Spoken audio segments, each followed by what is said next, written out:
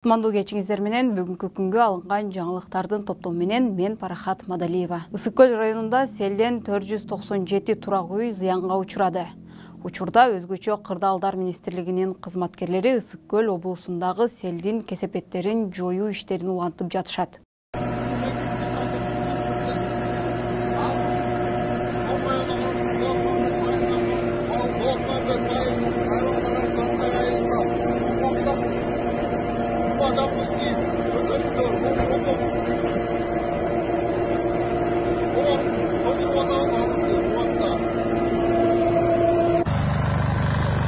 бул үчүн жети жүз элүү беш адам жана элүү тогуз даана атайын техника тартылган. Министрликтин болжолдуу маалыматына ылайык селден ысык көл районунда төрт жүз токсон жети турак үй үч социалдык мекеме бала бакча фаб жана китепкана эс алуучу жайлары зыянга учурады.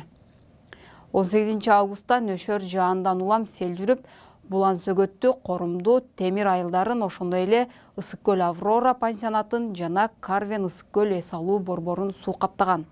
Анда үч автоунаа суу алдында калган. Суу ташкынынан эң көп темировка айылы жапа чеккен. Бул айылда жалпысынан жүздөн ашык үйдү суу каптаган. Мындан тышкары жети өгүз ак суу ысык көл жана тоң райондорунда да сел бир катар үйлөр менен жолдорду каптап айрым жолдор убактылуу жабылган селге байланыштуу ысык көл жана тоң райондорунда өзгөчө кырдаал режими киргизилген.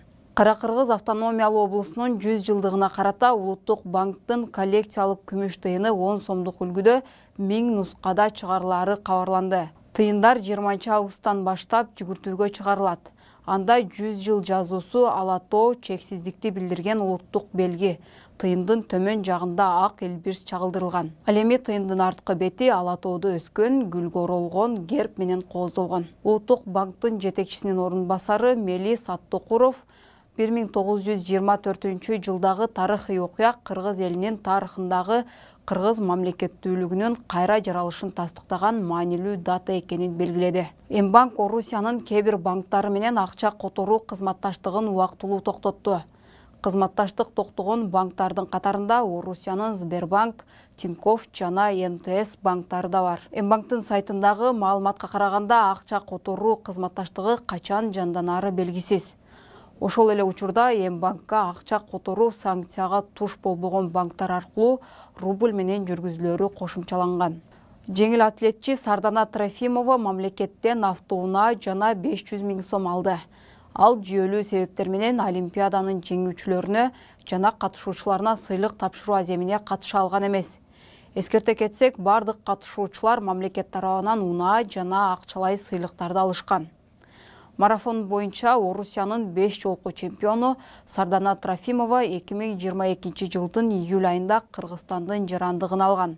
Жана быйыл париж отуз үчүнчү жайкы олимп оюндарына кыргызстандын атынан катышты. Мэрия бишкектеги кыргызстан менен азербайжан достук паркын беш жылга ижарага берүүгө ниеттенүүдө. Аукциондун баштапкы баасы айына алты жүз миң сомду түзөт. Парктын аянты беш жарым гектар ижарачыга коюлган талаптар бак дарактарды отургузуу паркты жашылдандырып тазалыгын сактоо камераларды орнотуп аттракцион койдурууга документтерди алуу. Коммуналдык кызматтарды төлөп чаржайыт соода саттыкка жол бербөө өз эсебинен жылына аз дегенде беш жолу же андан көп жетим майыптыгы бар балдардын эс алуусун уюштуруу. Аукцион жыйырманчы сентябрда өтөт. Орусияда мигранттарга үй бүлөсүн алып келүүгө тыюу салынган мыйзам долбоору сунушталды бул тууралуу риа новости маалымат агенттиги жазды. Лдпр фракциясынын лидери леонид слуцкий чет элдик жумушчулар чоң үй бүлөсүн алып кирип өлкөдө көзөмөлсүз миграция агымы жаралып жатканын белгилеген. Ал мигранттар бир нече районду ээлеп өзүнчө анклав түзүп алышкан деп нааразычылыгын билдирген крим авторитет камчы көлбаевдин беш жан сакчысына элүү миң сомдон айып пул салынды. Сот кылмыш жаза кодексинин үч жүз жетимиш төртүнчү беренеси. Бийлик өкүлүн коркутуу же ага карата зомбулук боюнча күнөөлүү деп таап ар бирине элүү миң сомдон айып пул салды. Бул тууралуу жыйырманчы августта бишкектин биринчи май райондук соту билдирди.